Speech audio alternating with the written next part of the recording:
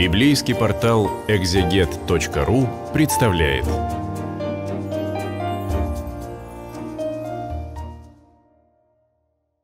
Здравствуйте, это видео для библейского портала экзегет.ру. Мы поговорим сейчас о 34 главе книги пророка Исаии Иерусалимского. А, еще одна, может быть, чуть более поздняя проповедь в эпоху борьбы между Иерусалимом, э, Ассирией, ну и вовлека... вовлеченных в эту э, всю политику народов.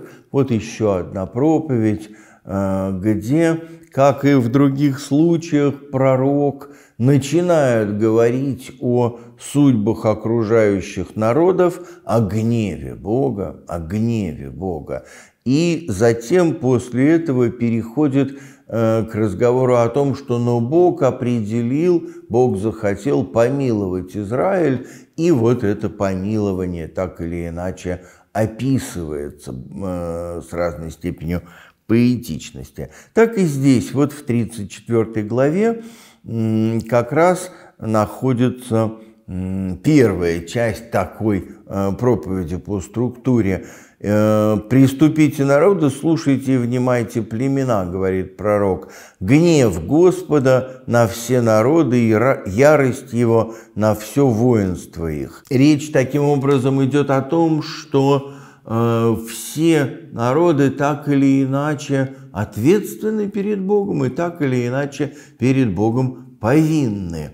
Э, строго говоря, в предыдущих главах – речь шла о том, в чем именно э, эти народы, языческие по большей части перед Богом повинны, в том, что они не э, хранят правду, милость и э, правосудие, как и Израиль, который тоже подвергается разнообразным бедствиям, потому что не хранит милость и правосудие. Ну и вот он предал их заклятию, отдал их на заклание. И это коснется вообще э, всего мира буквально. И тогда небеса свернутся, как свиток книжный, и все воинство их падет. Вот э, всю ту грандиозность, которую люди пытаются созидать, Эм, Господь видит как нечто крайне ненадежное и хрупкое. И вот небеса свернутся, как свиток книжный, все воинство их падет.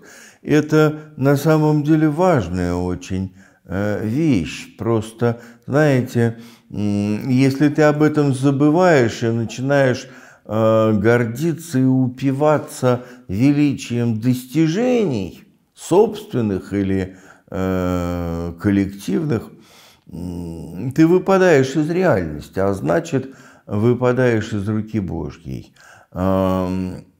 И в частности, в первую очередь здесь слово Господне обращено против эдомитян, или, как потом будут называть идумеями, против эдомитян, соседнего с Израилем народа, родственного, близкого, Э, которые все время враждуют э, с иудеями. И вот Господь говорит, меч Господа наполнится кровью, день мщения у Господа, год возмездия за Сион.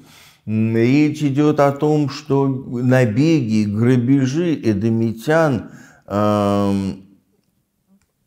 не будут оставлены э, безнаказанными – Эм, и Господь э, приходит для возмездия за Сион. Ну, это Ветхий Завет. Поэтому здесь, в общем, нет рефлексии на тему, а так ли хорошо такое возмездие. Более того, здесь очевидным образом страдающий израильтянин а, пытается себе самому говорить о том, что ну вот Бог отомстит, Бог отомстит за меня, за мой народ, за мои страдания. Ну, в конечном счете, конечно, да. И в то же время другие пророки, особенно после этой эпохи, будут говорить, что э, не все так одномерно и э, прямолинейно. Э, читая эти, в общем, очень жестокие строки 34 э, главы, обо всем этом важно помнить.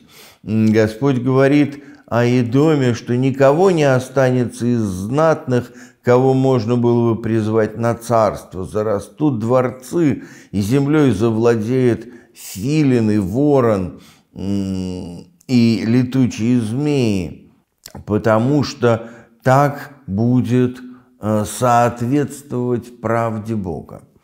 Э, так утверждает пророк здесь, в этом месте. Понимаете, э, отыщите, говорит Господь, в книге Господней и прочитайте. Ни одной из сих не применит прийти. Речь идет о повелениях Бога, о нравственных требованиях, которые Бог предъявляет. А, ни одна заповедь не придет из закона. И эти требования, а, которые повелел Бог, а, вот они определят судьбу народа. Но только речь идет об эдемитянах, а не иудеях. Оказывается, вот те же самые требования правды и милости, которые можно прочитать в книге Господней, те же самые требования, в общем, выдвигаются и э, в отношении эдемитян. Речь идет не о культе как таковом, а речь идет о нравственном состоянии этого народа.